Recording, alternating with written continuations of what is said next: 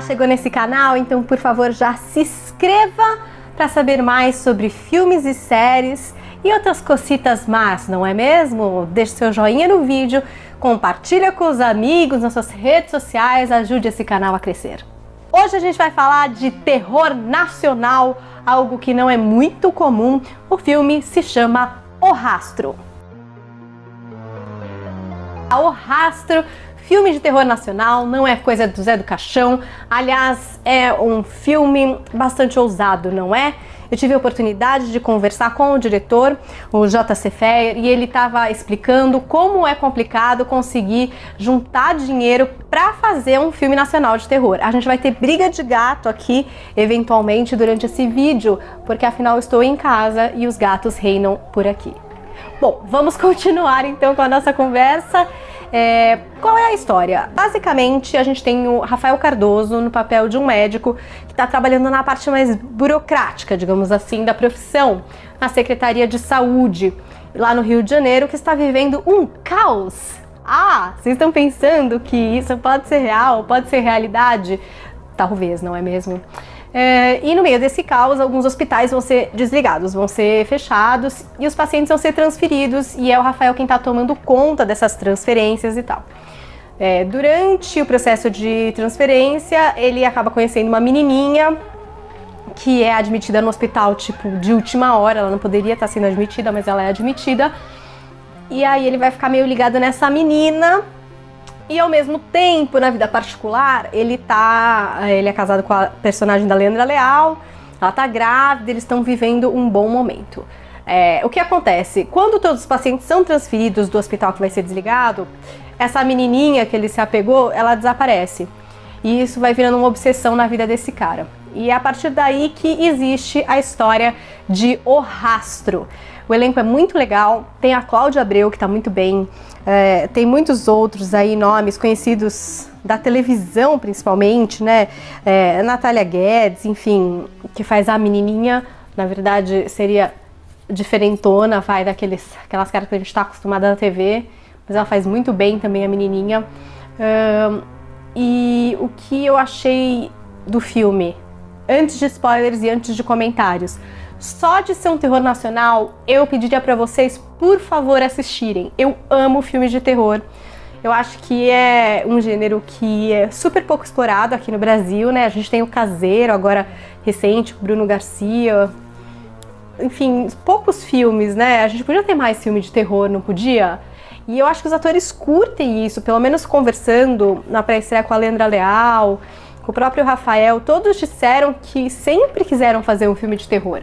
Então, se a gente não for assistir, quem é que vai investir em fazer filme de terror? Quem é que vai querer fazer filme de terror? Eu pediria para todo mundo ir assistir. Tem uma coisa no filme também que é a presença do Domingos Montagnier. Ele tem uma participação que até é bastante importante na história do filme e que até é acreditado no final, em memória e tal. Então, a partir de agora, pare. Se você ainda não assistiu ao Rastro, vá aos cinemas, estreia nessa quinta. Uh, e se você já assistiu, continua, porque agora tem spoiler e comentários a respeito desse filme. Bom, gente, que, que eu posso dizer a respeito do Rastro, né? É um filme que eu fui para querer gostar, porque eu quero gostar de filme de terror nacional, sim. Eu quero que tenham muitos filmes de terror nacional, sim. É, eu acho Rafael Cardoso uma graça. Eu amo a Leandra Leal e como ela tá bem nesse filme. Agora, é, partindo do princípio de que eu quero gostar do filme, eu vou tentar explicar algumas coisas que me incomodaram no filme. Se liga na loucura, né? Então a gente tem a história do personagem do Rafael, médico, tal, nananã, que fica obcecado pela menininha desaparecida quando os hospitais vai haver a troca dos hospitais, né? Um vai ser fechado e ela vai ter que ser transferida para um outro hospital. É, o que que acontece? Nesse filme eu acho que houve um exagero naquele recurso do fecha no close, sabe? Tipo, desfoca ali para ver aqui fecha aqui, fecha aqui, fecha nele, fecha nele. Talvez porque o diretor tenha pensado em colocar a gente no lugar do protagonista, né? Essa sensação de perseguição, essa sensação de, enfim, sufocamento e de loucura. Realmente, se foi isso, tudo bem. Só que Pra mim, filme de terror é plano aberto. Eu gosto de ter aquela sensação é, de medo que você não sabe, sabe? Se o terror vem daqui, vem dali, vem dali, vem dali, vem dali. E que de repente passa uma pessoa ali. Eu amo filme que é assim. Quando o filme é muito fechado, muito claustrofóbico, muito tela cheia, isso me incomoda um pouco. E foi uma das coisas que me incomodou no filme O Rastro. Outra coisa é a questão do áudio, que muitas vezes ajudou demais. Então você tem aqu aquela, aquela muletinha do terror, né? Que você se assusta com. Ah! Sabe, com susto. Acontece bastante no rastro isso. Em algumas vezes você realmente se assusta, mas depois esse recurso ele é usado tantas vezes que acaba se desgastando. Em outras vezes é bom o uso do áudio ali, a respiração ofegante e tal.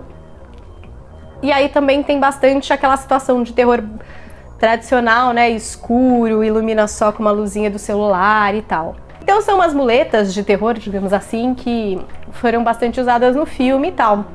Eu acho que a história é legal, o roteiro é legal e tem a ver com uma coisa muito brasileira, que é esse problema que a gente tem na saúde, essa corrupção é, entranhada em tudo que acontece no nosso país, né? Porque quando se descobre a trama real, que não é só aquelas almas penadas, digamos, aquela menina alma penada assombrando aquele cara, que tem uma coisa a mais ali, que é o hospital, o, o dirigente do hospital é, inventando exames para tirar dinheiro é, pago por esses exames, para tentar continuar com o hospital completamente decadente ou para simplesmente desviar verba para uma mãe, que é a personagem da Cláudia Abreu, que eu acho que poderia ter sido melhor explorada, porque ela tem um lance diabólico assim, bem legal, mas enfim, que forja exames porque precisa de dinheiro também para curar o filho. Então tem é, isso faz muito sentido na, na nossa história, assim, faz muito sentido aqui no Brasil, né? Eu não sei se em outros lugares do mundo essa história daria certo. É uma história bem brasileira mesmo, de de terror real, não precisava nem ter uma penada, né? Só o fator de você ter que ser atendido pelo sistema público já é um terror, né? E os próprios efeitos eu achei que foram bons.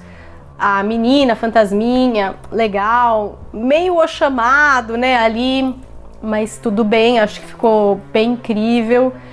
Uh, e o final também deixou uma margem para uma parte 2, né? E achei que tá, foi legal, entendeu? Mas o que me incomodou um pouco foi o seguinte: a gente tem aquele foco, né? Aquele foco muito intenso em cima do personagem do Rafael. E aí ele vai vivendo aquele drama vivendo. Aí, de alguma forma, o desfecho dele me incomodou um pouco, né? O que acontece com ele me incomoda um pouco. Porque é como se você estivesse focando num cara o filme inteiro e de repente você tira dele o foco pra jogar numa personagem da Lendra, que também é ótima e a Lendra é incrível. Só que assim, isso me incomodou, sabe? Não é feito de uma forma. Não sei, me incomodou, sabe? Tipo assim, ah, morreu, agora é com você. Vai aí, amiga. Isso me incomodou um pouco. Mas tudo bem, a história até que cola e até que dá certo, né? Então, eu acho que assim, tá tudo bem com o rastro. Não é ruim, tá? Mas não é um puta de um filme que me deixou assim movida. Aliás, eu, o próximo vídeo que eu vou gravar é sobre Corra, que também é um filme de terror. E esse sim, soube, meu, pegar a gente pelo pé, pelo braço, pelo cabelo, dar um nó, torcer e fazer algo de bastante diferente num gênero que a molecada gosta demais. Mas quero que vocês vão aos cinemas assistir, por favor, tá? Quero muitos filmes de terror nacionais. Deixem os seus comentários aqui no vídeo, o que é que vocês acharam de O Rastro, se vocês concordam ou não comigo com os pontos que eu coloquei aqui. Lembrando que a conversa é livre, você pode falar bem, você pode falar mal, e é isso que é o mais legal do canal, são os nossos comentários e não qualquer tipo de, enfim, aula ou coisa que eu possa falar por aqui, mesmo porque eu não sou especialista de nada, né? A famosa especialista em nada sou eu. Se você ainda não se inscreveu nesse canal, por favor, faça isso, porque é, enfim, de cliques que a gente vai vivendo aqui na internet. Recomende para os amigos, não deixe de assistir os outros vídeos deste canal.